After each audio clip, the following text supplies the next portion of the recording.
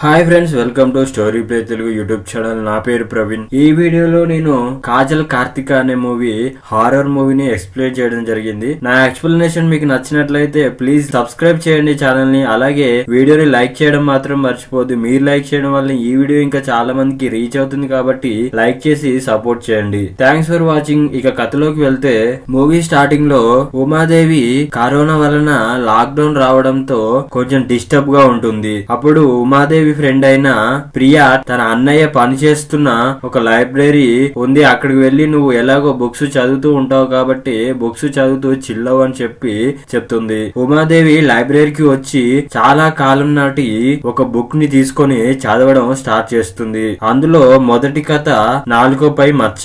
ఈ కథలో మీరా అనే ఈ అమ్మాయి లగేజ్ ప్యాక్ చేసుకొని మెట్లపై కూర్చొని ఏడుస్తూ ఉంటుంది. అప్పుడు శక్తి అనే ఇతను మీరాని చూసి ఏమైందని చెప్పి అడిగినప్పుడు మీరా తన హోమ్ ఓనర్ రూమ్ కాల్ చేసి వెళ్ళమన్నాడు. ఈ లాక్ డౌన్లో నేను ఎక్కడికి వెళ్ళాలి అని ఆ హౌస్ ఓనర్కి నువ్వు చచ్చిపోతావు అని నీ బాడీని కార్పొరేషన్ వాళ్ళు వచ్చి తీసుకుపోతారని చెప్పి శాపం కూడా పెట్టానని చెప్పి చెప్తుంది. అప్పుడు శక్తి నాది డబుల్ బెడ్రూమ్ ఫ్లాట్ మీరు నా ఫ్లాట్లో ఉండొచ్చని చెప్పి మీరాని తన ఫ్లాట్కి తీసుకుపోతాడు. మీరా హ్యాపీగా శక్తి ఫ్లాట్లోకి వచ్చి ఉంటుంది. నెక్స్ట్ డే మార్నింగ్ మీరా అన్నట్లుగానే హౌస్ ఓనర్ చనిపోతాడు. బాడీని కార్పొరేషన్ వాళ్ళు వచ్చి తీసుకువెళ్తారు. అప్పుడు మీరా నేను ఏదంటే అది జరుగుతుంది. మొన్న హిస్టరీ చేసేవాడు కూడా నేను తిట్టినట్లుగానే చనిపోయాడని చెప్పి శక్తితో చెప్తుంది. దాన్ని శక్తి నమ్మడు. మీరా ఇది నీ భ్రమ అని చెప్పి అలా ఎందుకు జరుగుద్దని చెప్తాడు. తర్వాత రోజు శక్తి ఇంట్లో కనిపించడు. మీరా శక్తిని పిలుస్తూ వెతుకుతూ ఉంటుంది. హౌస్ బయట నుండి డోర్ లాక్ చేసి వెళ్తాడు. శక్తి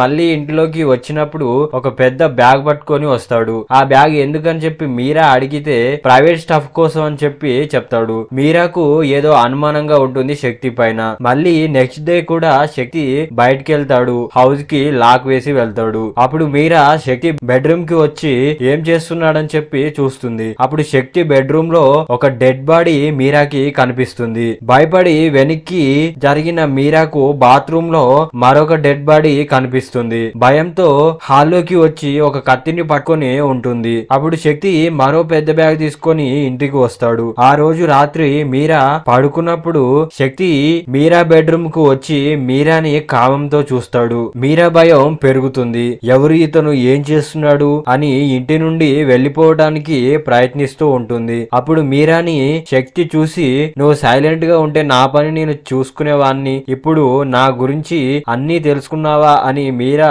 తనను గోడకు గుద్ది బెడ్రూమ్లో లాక్కుని వచ్చి కట్టి పడేస్తాడు. బాత్రూమ్లో ఉన్న డెడ్ బాడీని బయటికి తీసుకొచ్చి ముక్కలు ముక్కలుగా నరుకుతాడు మీరా భయంతో అరుస్తూ ఉంటుంది. అయితే అప్పుడు శక్తికి బయట హాల్లో నుండి శబ్దాలు వినిపిస్తాయి. ఇంట్లో ఏదో ఉన్నట్టుగా ఎవరో కనిపిస్తున్నట్టుగా శక్తిని భయపెడుతూ ఉంటారు. శక్తి భయపడిపోయి కింద పడతాడు. మళ్ళీ బెడ్రూమ్కి వస్తే మీరా పక్కనే ఒకడు దయ్యంగా కనిపిస్తాడు. శక్తి భయపడి వెనక్కి పడిపోతాడు. అప్పుడే శక్తికి తన ఫ్రెండ్ కాల్ చేస్తాడు. ఆ ఫ్రెండ్ లాక్ డౌన్ కదా ఏం చేస్తున్నారా అని చెప్పి అడిగితే శక్తి లాక్ డౌన్కు ముందే ఇద్దరు అమ్మాయిల్ని తెచ్చుకున్నానని ఒక అమ్మాయి మీరా తనంతటా తానే వచ్చి ఇరుక్కుంది. చాలా అందంగా ఉందని చెప్పి చెప్తాడు. అవునా అని ఫ్రెండ్ వచ్చి మీరా సోషల్ మీడియా ప్రొఫైల్ని చెక్ చేస్తాడు. అప్పుడు శక్తికి మరొక దయ్యం కనిపిస్తుంది. ఆ దయ్యం ఫ్రెండ్ కూడా కనిపిస్తుంది. అది ఇస్త్రీ వాడు వాడు చనిపోయి నెల అవుతుంది అని ఫ్రెండ్తో చెప్తాడు శక్తి.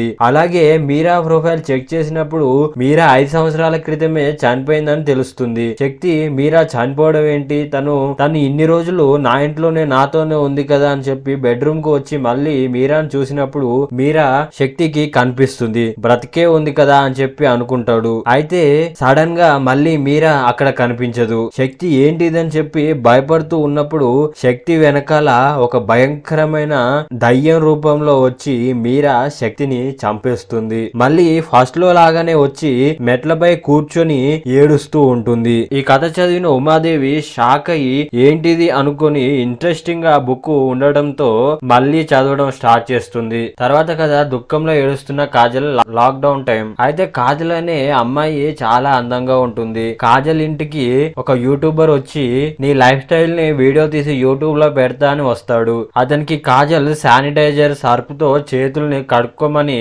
చెప్తుంది. తర్వాత ఇంట్లోకి తీసుకెళ్తుంది. నెక్స్ట్ డే నుండి లైవ్లో వ్యూవర్స్తో ఫుడ్ టిప్స్ ఎక్సర్సైజ్ లాంటివి చేస్తూ ఉన్నప్పుడు తన ఇంట్లో ఎవరో ఉన్నట్లు గమనిస్తుంది. ఒక కత్తి పట్టుకొని వెతుక్కుంటూ పోతుంది. అప్పుడు ఒక చర్చి ఫాదర్ కాజల్ పీక పట్టుకొని భయపెట్టి నెట్టేసి వెళ్తాడు. కాజల్ భయపడుతూ మళ్ళీ అతన్ని వెతుక్కుంటూ వెళ్తుంది. అలా వెళ్ళిన కాజల్కి ఫాదర్ దొరుకుతాడు. అప్పుడు కాజల్ తన చేతిలో ఉన్న ఆయుధంతో ఫాదర్ని కొట్టి కట్టేస్తుంది. అయితే ఇక్కడ ట్విస్ట్ ఏంటి అంటే ఈ అమ్మాయి కాజల్ మొత్తం తన ఇంట్లోకి వచ్చిన మగవాళ్ళందరినీ కట్టి పడేసి వాళ్ళ వేళ్ళని నరికి తింటుంది. అలా చాలా మంది వేళ్ళు నరికి తిని ఉంటుంది ఇప్పటి వరకే అప్పుడు మళ్ళీ కాజల్ ఇంటికి ఇంకొక అతను వస్తాడు. కాజల్ అతన్ని కూడా శానిటైజర్ సర్పు ఇచ్చి చేతులు శుభ్రం అయ్యాక లోపలికి తీసుకొచ్చి చేతి వేలి నరికి వేస్తుంది. ఈ స్టోరీ చదువుతున్న ఉమాదేవి ఏంటిదని చెప్పి షాక్ అయ్యి ఉంటుంది. అయితే ఉమాదేవి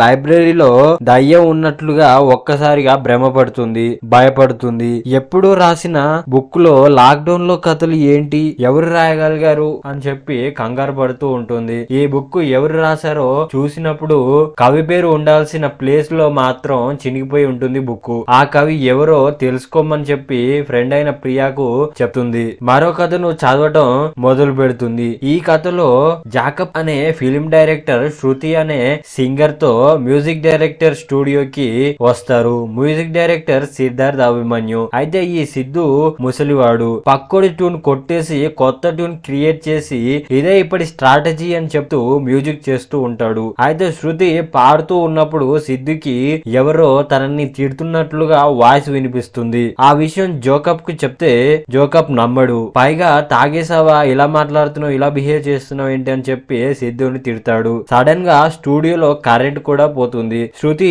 ఈ మెంటల్ గార్డ్కి నేను పాడనని చెప్పి వెళ్ళిపోతా అని డోర్ తీస్తుంటే డోర్ ఓపెన్ అవ్వదు. ఫోన్లో సిగ్నల్ కూడా ఉండదు. డోర్ ఓపెన్ చేయమని జాకబ్కు చెప్పి శృతి వాష్రూమ్కి వస్తుంది. అయితే అక్కడ వాష్రూమ్లో శృతికి ఒక దయ్యం కనిపిస్తుంది. ఆ దయ్యాన్ని చూడగానే శృతి భయపడి వెనక్కి వస్తుంది. అక్కడ శృతికి ఇంతసేపు తనతోనే ఉన్న సిద్ధు డెడ్ బాడీ కనిపిస్తుంది. వెంటనే వాష్రూమ్ నుండి భయపడుతూ జాకబ్ దగ్గరికి వచ్చి ఈ విషయాలన్నీ చెప్తుంది. అయితే సిద్ధ అప్పుడు జాకబ్ తోనే ఉంటాడు. ఏంటి వీడు నాతోనే ఉన్నాడు? నువ్వేమో డెడ్ బాడీని వాష్రూమ్లో చూసా అంటున్నావు అని జాకబ్ సిద్ధు వాష్రూమ్కి ఏం జరిగిందో చూడడానికి వస్తూ ఉంటారు. అయితే వాష్రూమ్లో వీళ్ళకి ఇప్పుడు ఎవరు కనిపించరు? సిద్ధు మగాళ్ళ ఫొటోస్ని పెట్టుకొని ఉంటాడు. అవి చూసిన జాకబ్ సిద్ధుని తిడతాడు. సిద్ధు నా బాత్రూమ్ నా ఇష్టం వచ్చినవి పెట్టుకుంటా అని అనగా జాకబ్ నీ బాత్రూమ్లో ఏమైనా పెట్టుకో కానీ వాళ్ళ మధ్యలో నా ఫోటో ఎందుకు పెట్టావని చెప్పి తిడుతూ బయటికి వస్తాడు. తర్వాత మళ్ళీ టార్చ్ లైట్ వెలుగులో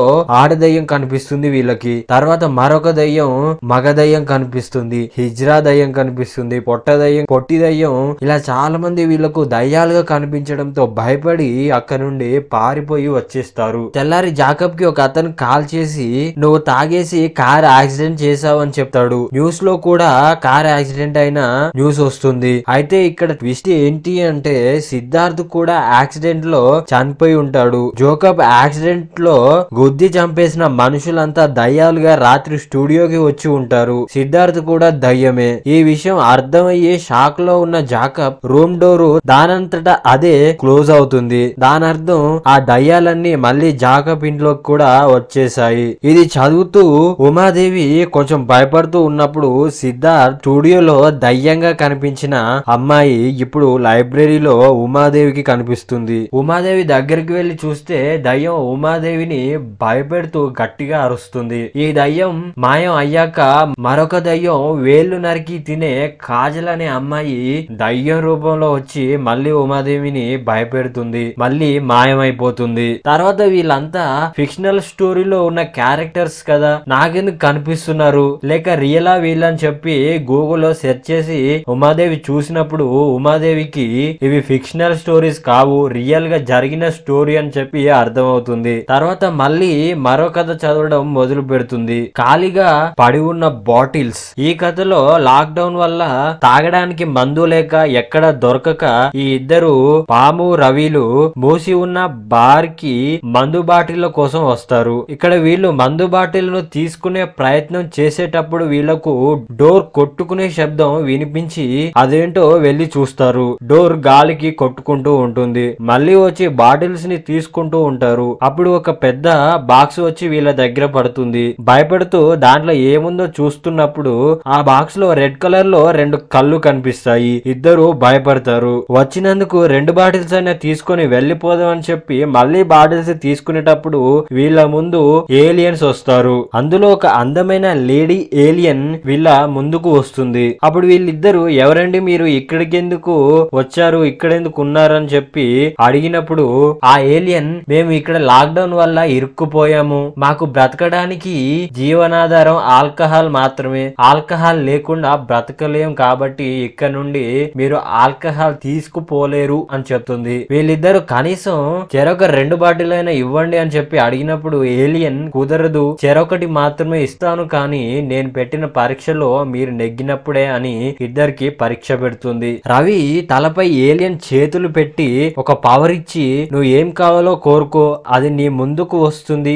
అని చెప్తుంది. అప్పుడు రవి వంద కేజీల బంగారం కావాలని చెప్పి కోరుకుంటాడు. వంద కేజీలు ఉన్న బంగారం అనే పేరు గల ఆడ పని మనిషి వచ్చి రవి ఒళ్ళో కూర్చుంటుంది. ఏంట్రా ఇదని చెప్పి మళ్ళీ ఇంకో కోరిక మనసులో కోరుకోక ముందే వీణ వచ్చి రవి ముందుకు వస్తుంది. అప్పుడు ఆ వీణతో రవి తనకున్న ఎమోషనల్ బాండ్ చెప్పుకొని ఏడుస్తూ ఉంటాడు. రవి పాములు ఎమోషనల్ అవుతారు. అప్పుడు పాము వృద్ధాశ్రమంలో ఉన్న తన నాన్నమ్మకి ఫోన్ చేసి నిన్ను వదిలేసినందుకు నన్ను క్షమించు నాన్నమ్మ మళ్ళీ నేను ఇంటికి తీసుకొస్తా అని చెప్పి ఏడుస్తూ ఉంటాడు. ఇదంతా చూసిన ఏలియన్ మీలో ఉండే పవర్స్ ఈ ఎమోషన్సే ఇవి మిమ్మల్ని ఏదైనా చేయగలిగే అంత శక్తివంతుల్ని చేస్తాయి. మీరేమో ఇవి పక్కన పెట్టేస్తారు. మీ నుంచి ఈ ఎమోషన్స్ నేర్చుకోవడానికే మేము ఈ లోకానికి వచ్చామని చెప్పి వీళ్ళిద్దరికి బాటిల్స్ ఇవ్వకుండానే మీకు విలువైనది ఇచ్చా అని చెప్పి వెళ్ళిపోతుంది. తర్వాత ఉమాదేవికి ఈ స్టోరీ చదివినాక దాంట్లో ఉన్న ఏలియన్స్ కళ్ళకి కనిపిస్తారు. ఇది ఎలా సాధ్యం? స్టోరీలో ఉన్న క్యారెక్టర్స్ నాకెందుకు కనిపిస్తున్నాయి అని చెప్పి ఉమాదేవి ఏలియన్ని అడుగుతుంది. అప్పుడు ఏలియన్ ఇదంతా నీ వల్లనే అని చెప్పి మాయమవుతుంది. ఉమాదేవికి ఏం అర్థం కాదు కానీ మళ్ళీ వెళ్ళి బుక్ చదవడం మొదలు పెడుతుంది. ఇది లాస్ట్ స్టోరీ. ఈ స్టోరీలో కాజల్ అగర్వాల్ ఉంటుంది. స్టోరీ నేమ్ మంత్రగత్తె. ఈ కథలో మొదట మొదటగా ఊర్లో చిన్నపిల్లలు కనపడకుండా పోతారు. అలాగే పెద్దవాళ్ళని ఒక దుష్ట శక్తి తల నరికి చంపేస్తూ ఉంటుంది. తర్వాత కార్తిక అనే హీరోయిన్ని చూపిస్తారు. కార్తికకు కూతురు ఉంటుంది. పేరు ఉమాదేవి. కార్తిక భర్త పట్నంలో ఉంటాడు. ఇంకా రెండు రోజుల్లో వస్తున్నానని చెప్పి కార్తికకు లేఖ వస్తుంది. ఆ లేఖను కార్తిక మరిది అయిన కార్తిక భర్తకు తమ్ముడు గోవింద్ తీసుకొని వస్తాడు. ఆ లేఖను చదివిన కార్తిక చాలా సంతోషంతో ఉంటుంది. తర్వాత ఊరు ప్రెసిడెంట్ రాజన్నను చూపిస్తారు. ఊర్లో జరుగుతున్న చిన్నపిల్లలు కనపడకపోవడం పెద్దవాళ్ళు తలలు నరికి చంపడం లాంటి సమస్యల గురించి మాట్లాడుతూ ఉంటాడు రాజన్న. గోవిందు ఈ సమస్యలకు పరిష్కారం ఏంటో తొందరగా తేల్చండి అని చెప్పి రాజన్నతో చెప్తాడు. తర్వాత కార్తీక ఊరి జనాలందరికీ అన్నదాన కార్యక్రమం చేస్తుంది. ఆ టైంలో కార్తిక వాళ్ళ ఇంట్లో అదే ఊరికి చెందిన ఒక అతను దొంగతనం చేయడానికి ప్రయత్నిస్తాడు. అతన్ని పాలేరు పట్టుకొని కొడుతున్నప్పుడు కార్తిక ఆపి ఎందుకు దొంగతనం చేయాలనుకున్నావు అని చెప్పి అడిగినప్పుడు ఇతను అప్పుల పాలయ్యాను. సరిగ్గా నేను నా కుటుంబం తినక రెండు రోజులైందని చెప్పి అందుకే ఇలా చేశానమ్మా మన్నించు అని అంటాడు. దానికి కార్తిక బాధపడి తన బంగారు గాజులను ఇచ్చి అన్నం పెట్టి పంపిస్తుంది. తర్వాత కార్తిక ఇంటికి ఊరి పెద్ద ప్రెసిడెంట్ రాజన్న వస్తాడు. కార్తికతో రాజన్న నువ్వు ఊర్లో అందరికి జాతకాలు చెప్తున్నావంట కదా అని అడుగుతాడు. దానికి కార్తిక అవునండి నేను వంద సంవత్సరాల ముందు ఫ్యూచర్లో ఏం జరగబోతుందో అన్న విషయాలు చాలా రాశాను. కానీ అందులో ఎన్ని జరుగుతాయో కూడా తెలియదు అని బుక్ని రాజన్నకు చూపిస్తుంది. ఓ అయితే ఇప్పుడు ఏం జరుగుతుందో నా గురించి రాయని అన్నప్పుడు కార్తిక రాసింది రాసినట్లుగా జరుగుతుంది. దానికి రాజన్న షాక్ అవుతాడు. అయితే అప్పుడు కార్తీక భర్త చనిపోయి శవంగా ఇంటికి వస్తాడు. కార్తిక చాలా బాధపడుతుంది. ఊరి జనం కూడా ఇంత మంచి ఆవిడకు ఇంత కష్టం వచ్చిందని చెప్పి బాధపడుతూ ఉంటారు. తర్వాత రోజు కార్తీక భర్త ఆస్తినంతా కార్తీక పేరు మీద రాసి వెళ్ళాడని రాజన్న ఆ ఆస్తినంతా నాకు అమ్మే అని చెప్పి నీకెందుకు అని అడుగుతాడు. దానికి కార్తీక రాజన్నపై సీరియస్ అయ్యి తొందరగా ఇంటికి వెళ్ళు లేదంటే ఊర్లో తల లేకుండా మొండాలు దొరుకుతున్నాయంట కదా. నువ్వు కూడా అలా అయిపోతావేమో జాగ్రత్తగా ఉండని చెప్పి లోపలికి వెళ్తుంది అయితే అప్పుడే ఇంటి పాలేరు కార్తీక జాతకాలు చెప్తుంటే బాగుండేది. ఇప్పుడు భయమేస్తుంది అని కొన్ని రోజుల క్రితం తప్పిపోయిన కుక్క పిల్లను కార్తీక చంపి తినేసింది అని చెప్పి చెప్తాడు. అలాగే కొన్నిసార్లు చిన్నపిల్లల ఏడుపులు కూడా వినిపించాయని చెప్పి చెప్తాడు. దానికి రాజన్న అంటే ఊర్లో కనిపించకుండా పోయిన చిన్నపిల్లల్ని కార్తీకనే చంపేస్తుందా అని నెక్స్ట్ డే కార్తీక మరిదికి చెప్పి కార్తీకను చూపించడానికి ఒక భూత మాంత్రికుని తీసుకువస్తారు. అప్పుడు కార్తీక పాలేరుని మాంత్రికుణ్ణి కొడుతుంది. దాంతో మాంత్రికుడు కార్తీక చెడ్డది అని మంత్రాలు నేర్చుకొని ఊర్లో పిల్లల్ని పెద్దల్ని చంపేస్తుందని వెంటనే తన నాలిక కోసి ఊరికి ఒంపుడుగత్తగా చేయాలి లేదంటే ఇంకా చాలా మంది చనిపోతారని చెప్పి చెప్తాడు. అంతే అప్పటి నుంచి కార్తీకను ఊరు మొత్తం మంత్రిగత్తే అనుకొని నీచంగా చూస్తారు. ఆఖరికి కార్తీక తన బంగారు గాజులు ఇచ్చి సాయం చేసిన ఇతను కూడా కృతజ్ఞత లేకుండా కార్తీకకు కొబ్బరి చిప్ప విసిరి అడుక్కునే దానిలాగా చేస్తాడు. తర్వాత ఈ జనాల్ని భరించలేక కార్తిక తన కూతురు ఉమాదేవితో కలిసి చచ్చిపోదాం అనుకుని బావిలో మొదటగా తన కూతుర్ని పడేస్తున్న టైంలో గోవింద్ మరియు ఊరి జనాలంతా వచ్చి కార్తీక మళ్ళీ చిన్నపిల్లని చంపాలని చూస్తుంది. ఇది మారదు అని ఊరు మొత్తం కార్తీకను నీచంగా తిట్టి ఘోరంగా కొట్టి చివరికి తన అమ్మ తనని చంపేయడానికి చూసింది అని కార్తిక కూతురు ఉమాదేవి కూడా అనుకొని తను కూడా అమ్మాయిన కార్తీకను కొడుతుంది. ఊరు వాళ్ళంతా రక్తం వచ్చేలా రాళ్ళతో కొట్టి కార్తీకను ఊరి తీసి చంపేస్తారు. అయితే ఇక్కడ ట్విస్ట్ ఏంటి అంటే కార్తీక మరిది గోవిందు కార్తీక ఆస్తి కోసం ఊర్లో ఈ చిన్న పిల్లలను పెద్దలను అతనే చంపి ఆ నిందను నేరాన్ని కార్తీకపై వేసి ఊరి జనాల చేతనే చంపేలా చేస్తాడు. అదే విధంగా ఊరి ప్రెసిడెంట్ను కూడా చంపి పడేస్తారు. కార్తీక కూతురు పెద్ద పెద్దయ్యాక దాన్ని కూడా ఇలాగే చంపేద్దాం అని చెప్పి గోవింద్ ఇంటి పాలేరు భూత మాంత్రికుడు ముగ్గురు అనుకుంటూ ఉంటారు. అయితే ఈ ముగ్గురిని చంపడానికి కార్తీక దయ్యం అయ్యి వచ్చి ముగ్గురిని దారుణంగా చంపేస్తుంది. ఈ కథనంతా ఉమాదేవి చదువుతూ ఏడుస్తూ బాధపడుతూ ఉంటుంది. తర్వాత ఇంటికి వస్తుంది. అయితే బుక్లో స్టోరీస్ రాసింది ఎవరో కాదు కార్తీకనే అని ప్రియా ద్వారా తెలుస్తుంది ఉమాదేవికి. రాస్తే రాయొచ్చు కానీ తను చనిపోయాక తన స్టోరీనే ఎలా తన ఎండింగ్ రాసుకుంది అని చెప్పి ఆశ్చర్యపోతుంది. అంతటితో కథ ముగుస్తుంది. ఇది ఫ్రెండ్స్ ఈ వీడియో. నా ఎక్స్ప్లెనేషన్ మీకు నచ్చినట్లయితే ప్లీజ్ సబ్స్క్రైబ్ చేయండి ఛానల్ని అలాగే లైక్ చేయడం మాత్రం మర్చిపోద్దు వీలైతే మీకు ఎలా అనిపించింది అనేది మీ ఒపీనియన్ని కామెంట్ చేయండి. Thank you for watching this is Praveen signing off